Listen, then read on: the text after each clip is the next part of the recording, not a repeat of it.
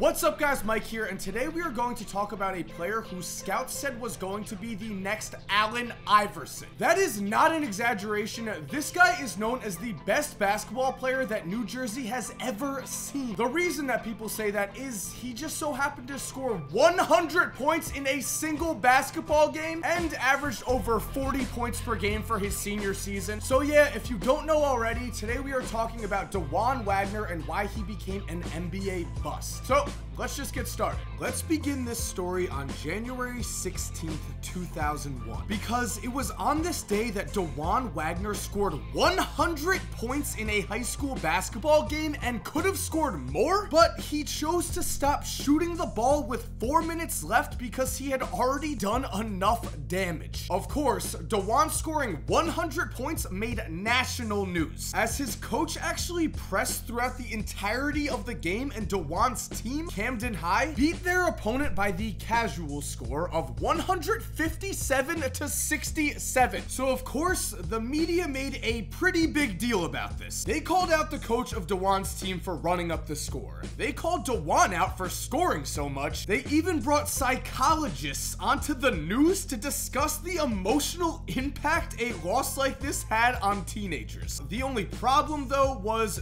nobody was asking the other team how they felt about this loss. Because according to Brandon Sunkett, a starter on the other team, he said, we were all laughing about it. You know Dajuan's gonna score, what you don't know is how. So you might as well enjoy watching it. That is how good Dajuan Wagner was at basketball. Throughout his entire life until his NBA career got derailed, and we get to that, Dajuan Wagner knew how to do one thing. Score the basketball. As a senior in high school, Dajuan averaged an absurd 42.5 points per game and finished his career with a ridiculous 3,462 points, breaking the all-time New Jersey high school scoring record. He was simply unstoppable. He was seen by many as the best high school player in America, and he had NBA superstar written all over him. Going even further, because of the insane numbers he was putting up and the breathtaking way he played the game of basketball, Dajuan became a legitimate Camden celebrity and was known in Camden as the Messiah. And as you probably know, Camden is an incredibly rough place to grow up in. It's filled with drug dealers, muggings, murders, you name it. For a person to rise up from that type of environment and thrive really says a lot about their character. It really shows that he is able to avoid all of the temptations that are thrown at him and focus on his ultimate goals. That's what Dajuan Wagner was, a hardworking and driven person who knew what he wanted in life. As Camden Police Captain Ray Massey remembers, this is a city where people are trying to survive. Somebody like Dajuan comes along, you've got to celebrate him. We know the kids that get in trouble in this city, he's not one of them. What Dajuan was, was simply a self-made man. If you talk to Camden residents now about a young Dajuan, they can still remember him as a kid dribbling a tennis ball with him wherever he went to improve his ball handling. They still remember the fact that he wore weighted shoes every day to gain strength in his legs. They still remember him shoveling snow off of any basketball court he could find so that he never missed a day of practice. Wagner himself would say that he was not born an amazing basketball player. He made himself into one. As Dajuan said, everybody puts you on this pedestal and wants you to live up to those expectations. I just always wanted to be the best. And if you still don't fully realize just how big a deal Dajuan Wagner was at this point, just think of him as New Jersey's version of LeBron James. He was that good in high school, he had that much hype. Many still say that he was the best high school basketball player that New Jersey has ever seen. He was selling out every gym he went to. He even sold out Rutgers home court, The RAC, when he went to play there because people wanted to see a glimpse of future greatness. This was supposed to be a true rags to riches story. This was supposed to be a tale of the kid who avoided the streets, made it to the NBA, and became a hometown legend. And even when he got to college, this legend only continued to grow because after his amazing high school career, Dajuan made the decision to join John Calipari's University of Memphis team. This would prove to be an awesome decision as at Memphis, Wagner instantly became a college star. In his single season, he averaged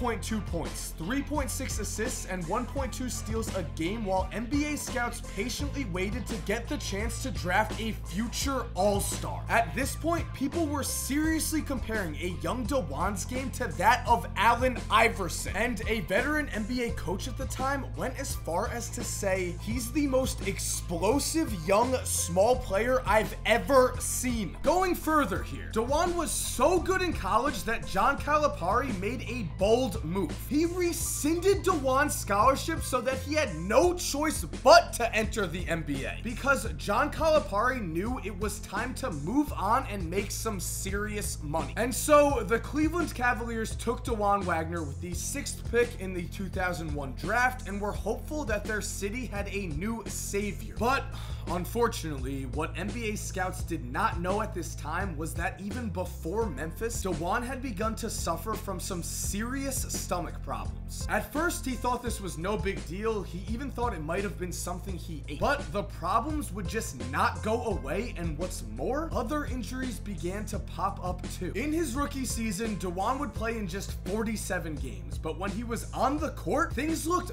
very promising, especially at first. As in the first 11 games of his career, Dajuan scored 25 points or more six times and finished those 11 games averaging 20.3 points, 4.5 assists, and 1.4 steals a game. That is obviously an awesome beginning to your NBA career, but these numbers were just not sustained. Again, Dajuan would play in only 36 more games that year, and in those games, his numbers would plummet to just 13.4 points and 2.8 assists a night. The reason for this was simple. His stomach was just not right, and later in his rookie season, he also tore some cartilage in his right knee. Now, remember, in today's NBA, knee problems are still very serious, but not as serious as they were 15 years ago. So in 2001, something like a knee problem in a player's rookie year could derail his entire career. When you combine this with the fact that Dajuan also had an undiagnosed stomach issue called ulcerative colitis, which causes inflammation and sores in the large intestine, and you can begin to see where things went wrong. According to doctors, ulcerative colitis can be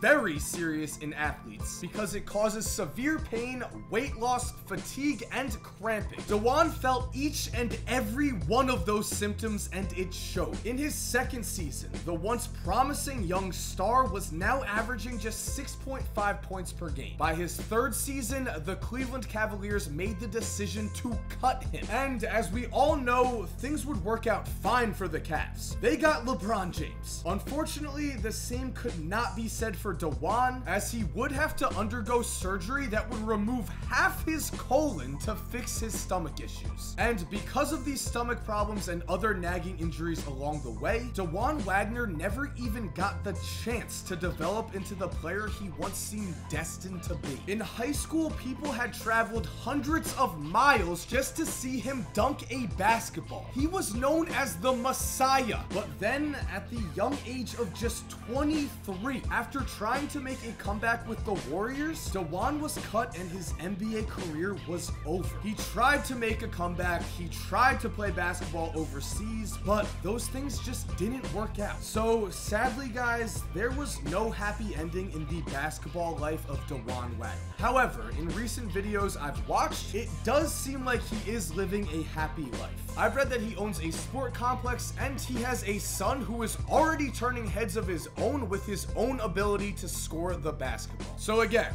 the basketball life of Dajuan Wagner was not happy, but personally, I hope that he at least lives a happy life. So thanks for watching guys, and I also want to give a huge thank you to Skillshare for sponsoring this video. Now, one of the most common questions I get asked as a YouTuber is, how did I learn how to edit? And I'm sure like many YouTubers, I was self-taught. Unfortunately, teaching myself was a struggle and took a long time. And if I'm being honest, I wish I knew about Skillshare before I started YouTube. If you don't know what Skillshare is, it's an online learning community with thousands of classes in business, technology, video editing, you name it. If there's a skill you need to learn, Skillshare can help you. So just looking at this class right here, like I said, if you're an aspiring YouTuber and you want to learn how to edit videos, boom, you can join a video editing class. And the coolest thing about this is that the first 1,000 people to join Skillshare using the link skl.sh slash Mike K, the link will also be in the description, can get two months of Skillshare for just $1. And after that, monthly memberships are just $10 a month. So if we're being honest, that is very affordable for thousands of potential classes. So again, guys, make sure to go click the link below, join Skillshare, only $1, and thank you for watching. I hope you have an awesome day, and cue that music. How about a cool, step in a loop, she checking my fashion. I was just trying to be cool, diamonds attacking. I give me a check, then to act. Ah, Face. I get the cash now.